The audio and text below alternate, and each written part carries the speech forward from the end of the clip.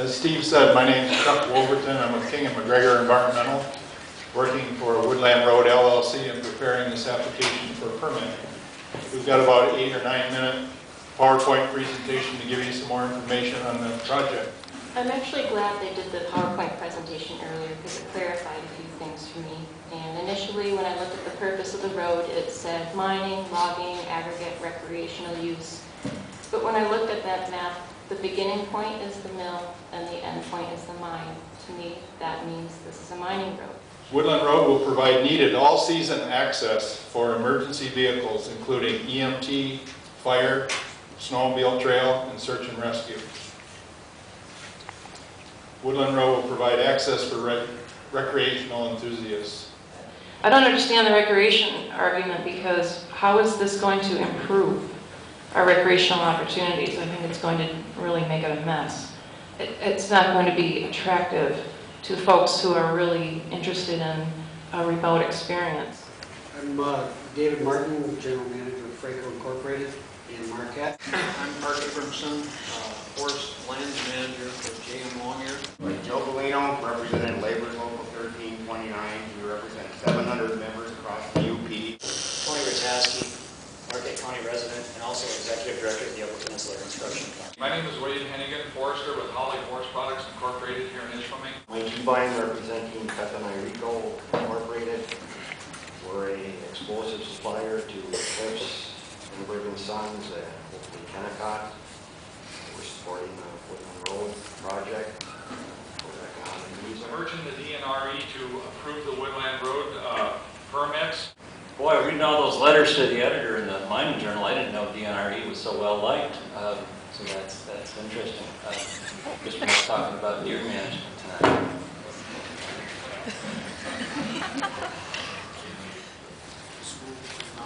After James Sodergren is Bruce Enstrom.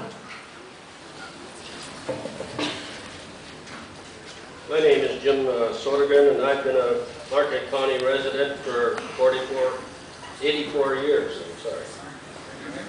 I would like to acknowledge and thank uh, Lindberg Construction, John Gilbert, Kennecott, and the timber industries for their foresight in the formation of Woodline Incorporated. Where else would you find private industry come together to build and pay for a 20-plus mile road built to county road specifications and open to the public with an estimated cost of $50 million. I'd like to suggest that history... a lot, we have government, we have you. And so please, please do that. Apply the law. There's flaws in this, there's been flaws throughout the entire process, and you need to address those. Um, Take your time. There's, you have experts, you are experts, you have experts in the community, in the state, in the nation, there's experts in this room. Talk to them, um, and I urge you, throughout all the emotion and interest issues and people, um, be be the employees that you are and apply the law fairly. Thank you. My name is Jim Carey, I'm a logging contractor in Channing, Michigan, a major player in the forest products industry. I own land in Ely Township, Marquette, uh, uh, several places in Marquette County, all the townships, Dickinson County, Iron County. I'm a fifth generation extractor of the natural resources. A lot of my family members are miners. Uh, I do a lot of business with the people in, in the area here that uh, buy products from. I agree with a lot of the comments made by some of the people that probably don't like what I do every day. We provide jobs for 35 families, pretty good jobs, pretty good benefits.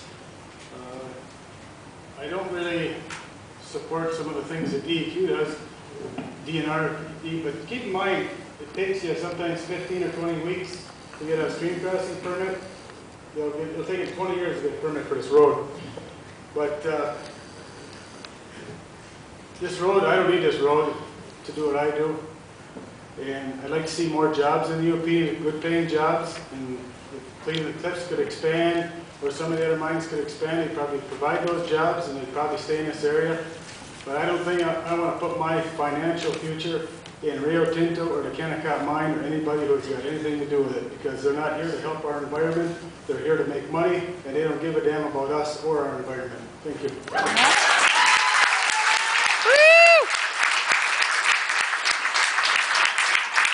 Thanks, Dave Burleson. Thanks you for the opportunity. I live on the north branch of the Otter River in southern Houghton County. It's a haul road. Um, there's a bridge to nowhere right next to my house, which the state and county took the property from me to build this bridge because they said they would condemn it if they, if they couldn't. So that's a little bit of history on my experience with all this. Uh, Whole issue seems to be with all the speakers that have gone before me uh, that are in favor of this project, uh, is trust. I try to boil it down to one word, trust. And it seems like the overriding comments uh, kind of revolved around trusting the state, the regulations, and the people uh, in Lansing or, or in Marquette and regional offices to, to monitor and, and mitigate this um, proposed action. Um, the river that I live on was the last known river in Michigan to contain native uh, gray because of its purity and temperatures and so on. There's none there now. The stretch of river that I own, one half a mile, um, was easily, uh, you could easily catch 100 fish in an evening and release them almost every evening when I first bought this land. It's in the 70s and now there's no holes and no fish. And the reason I'm mentioning this is because, uh, back to the word trust, I just looked up online because I can't find the pamphlet any place locally in any of the bait stores or the licensed places. Uh, There's no um, pamphlet to hand out the uh, consumption regulations for fish advisories. And that trust that I have in the people in power uh, has been degraded significantly over the years that I've fished and eaten fish, consumed them and enjoyed them. And I, I printed out just three pages of the Lake Superior watershed, and virtually every stream in the Lake Superior watershed in the UP has fish advisories for women and children. So if everyone here is so concerned about jobs and the future and the health of their children, perhaps they need to revisit that concern because there isn't a Great Lakes that isn't contaminated in every major stream and every fish that we want to catch and eat, and it isn't containing PCBs, mercury, and so on. And if this mine goes through and there is an accident, if you can't regulate it and control it the way you propose you can, then perhaps uh, we'll just have to add another thing to the next fish advisory. road is, um, will not be legal. The mine has, in order for this road to uh, be a haul road, Kennecott has been notified from the DEQ uh, before it became the DNRE that they have to file a- an amendment to the process.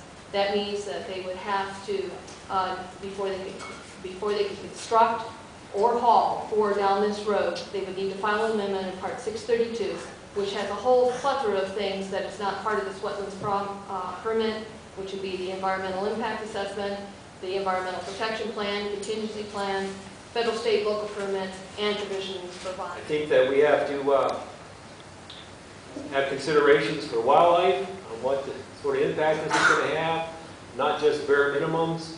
There's a lot of money involved in here. This company's got lots of money, they're going to make billions of dollars on this.